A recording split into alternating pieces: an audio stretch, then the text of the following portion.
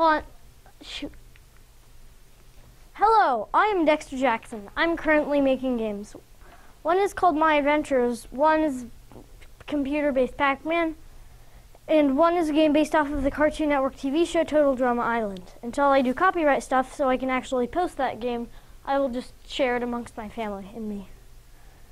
An- another game was based off of a Microsoft Paint picture I drew off of my mom's boyfriend, and I haven't really started it, but I I thought it was a pretty cool idea. So, one My Adventures is an RPG point and click game like Zelda, except an entirely different game. Like the characters are different and stuff, and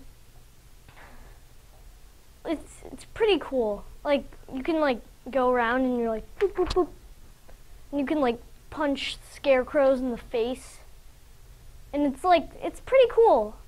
I didn't know I could do it. I made it off of Game Maker, which is A plus and A asterisk based off of. You can use that along with other tools.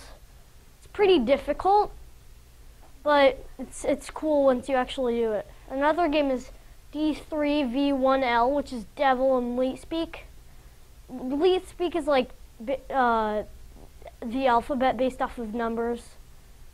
And Devil is like a game where there's a little devil and he does not like his father, so he decides he's going to go on an adventure because his dad thinks he can't do anything and he's just a useless person.